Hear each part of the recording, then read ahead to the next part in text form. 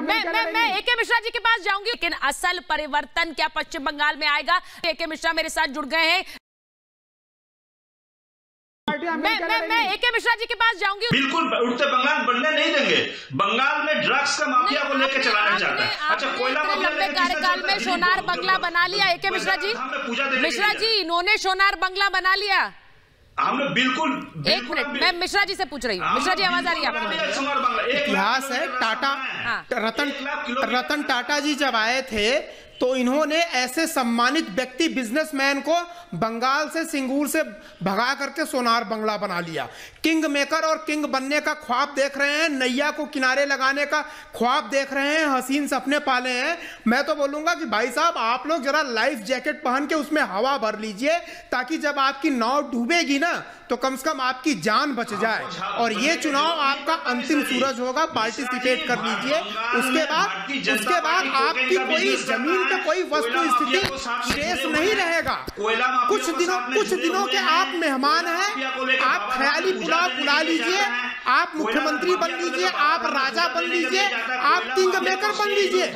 बंगाल की जनता ने ठान लिया है कि निकम्मे लोगों को गुंडे जितने हैं जो बम फोड़ते हैं जो लोकतंत्र की हत्या करते हैं और बोलते हैं कि हम किसी को वोट नहीं देने देंगे। अब की बार उनका इंतज़ाम इलेक्शन कमीशन ने कर दिया है। आप बताइए। आठ फ़ेज़ में इलेक्शन डिक्लेयर करते ही आग लग गई। आप लोग पूछने लगे कि इतना लंबा इलेक्शन कमीशन आठ फ़ेज़ में क्यों इलेक्शन करवा रही है समझ में आने लगा है ना आप लोगों को? माफिया। लाइफ जैकेट में हवा भर के सर एक चेतावनी है।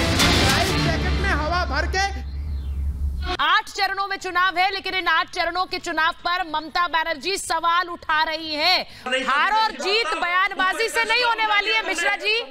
एक सेकंड एक सेकंड मैं मैं संजय जी आऊँगी आपके पास, एक बार मैं एके मिश्रा जी के पास जा रही हूँ। पर मैं पर बंगाल में तो बंगाली ही राज करेगा। ये वाली राजनीति क्या सही है इस देश के लिए? हर हर राज्य में अब, हर हर राज्य का व्यक्ति खड़ा होकर ये कहे, यहाँ पर तो पंजाबी ही राज करेगा।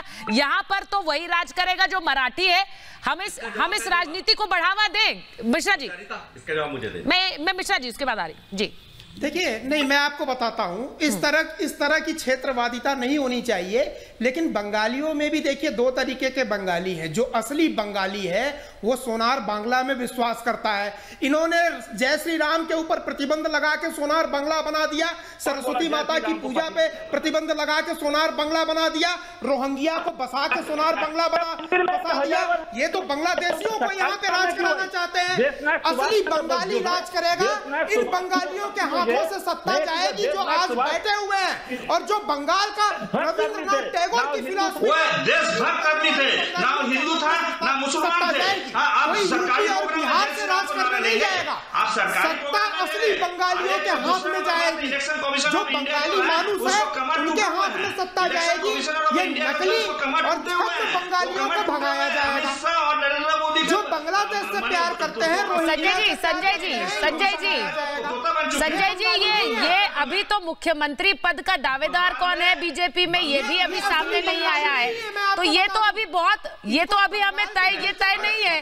तो इसीलिए अभी जो लोग प्रचार के लिए आ रहे हैं वो सिर्फ़ प्रचार के लिए आ रहे हैं। उनमें से कोई मुख्यमंत्री नहीं बनने वाला है अगर सत्ता आती भी है। तो ये बंगाल वाली राजनीति तब तक आप बुना लीजिए जब तक नाम ना वो ऐलान करें। बनेंगे जी। दिलीप घोष सोमवार को मुख्यमंत्री बनेंगे। या चुनाव दिलीप घोष सोमवार को मुख्यमंत्री बनेंगे। शुभेंदु मंगलवार को मुख्यमंत्री बनेंगे।